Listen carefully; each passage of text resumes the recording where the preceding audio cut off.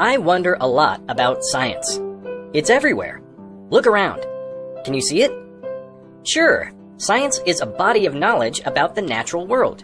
You can read about what we know about science, about Earth, space, life, energy, and so much more. But did you know that you can do science? It's how we create science knowledge to begin with. There's different ways of doing science, but science always starts with something in the natural world that one observes and wonders about.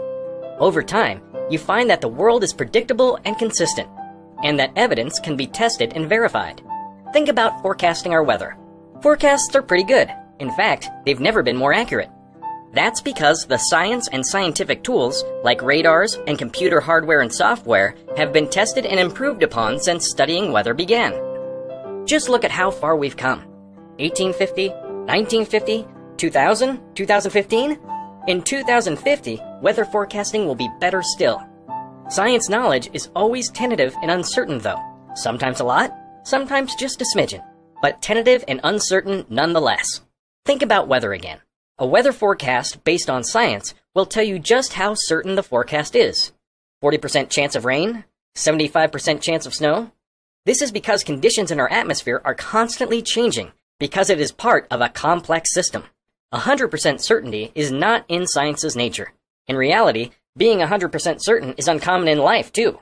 And even in the year 2100, forecasts still won't be infallible. And I'll tell you something else. Science is often looked up to to help inform decisions about the natural world. Sure, information obtained through science should help inform solutions. But it's just one piece of any puzzle. Sometimes it's even the biggest piece, but it's ultimately up to us to decide how we use science to help point the way. This last point surprises some folks. Science is a social endeavor. It requires teamwork, scrutiny, collaboration, and communication to be at its best and advance knowledge. Granted, science has its limits.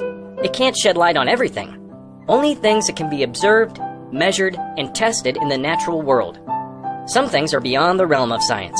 Things that can't be proved or disproved, like the meaning of life or the existence of anything supernatural. Yep, science is just one way of knowing, but it's a way of knowing that I'm glad we have.